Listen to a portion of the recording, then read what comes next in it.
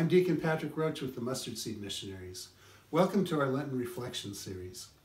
Each Thursday for the next few weeks, myself and other members of the Mustard Seed Missionaries would like to offer a short video reflection on the sufferings and passion of our Lord Jesus Christ. Hopefully through these short video clips, you'll be able to enter a little more fully into this holy season of Lent and appreciate more the love that our Lord Jesus Christ has for each one of us. So we begin our series with a reflection from Luke's Gospel. We're going to look at Luke chapter 22, verses 63 and 64. And the men who held Jesus in custody were ridiculing him and beating him. They blindfolded him and questioned him, saying, Prophesy for us. Who is it that struck you? We know that during Jesus' passion, he was beaten several times. We have this passage from Luke's gospel that tells us he was beaten by the temple guards.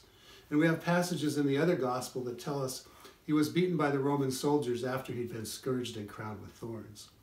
So we know that Jesus was beaten. How many times or how long those beatings endured, we don't really know. We don't have those details. But it's been said that when the scriptures lack detail, it's often because the gospel writers could not express in words what really happened. So, given that understanding, we can imagine that Jesus' beatings were severe.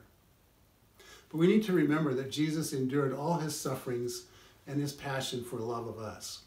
He endured in a particular way these beatings, this physical and verbal abuse, and to atone for our sins, for our sins of physical and verbal abuse that we inflict on others, and also for our judgments of others that are often unfair or unjust. Could Jesus have stopped these beatings? Could Jesus have stopped all these persecutions? Of course he could, but he didn't. And the reason he didn't is because it was only through his passion, death, and resurrection that perfect atonement for our sins could happen. We need to remember that Jesus loves us so much that he chose to endure his passion and death for us. He could have easily prevented it, he could have easily stopped it, but he didn't. The love that our Lord Jesus Christ has for us, that God has for us, is something that in this life we'll never fully understand or appreciate. His love is so great that it is unique to each individual person. His love for me, his love for you, is unique to us. There will never be anyone created in past history or future history that has loved the way our Lord loves us. His love is unique, his love is individual, and his love is unfathomable, as St. Faustina says. We will never understand it, at least in this life. So it's his love that allowed our Lord to freely enter into his passion and death. It's his love that allowed him to endure these beatings for us, for our sins. Our Lord endured these sufferings because we could not do it. He entered into his passion to atone for our sins because we could never fully pay the price of that atonement.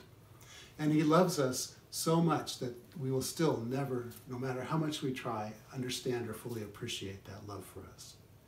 So as we enter this holy season of Lent, let us spend a few minutes each day reflecting on the passion and sufferings of our Lord Jesus Christ, and at the same time reflecting on that great love for us that allowed him to enter into his passion and death and resurrection for us. As we reflect on these things, let us thank the Lord for his great love for us and for all of the things that he endured during his passion.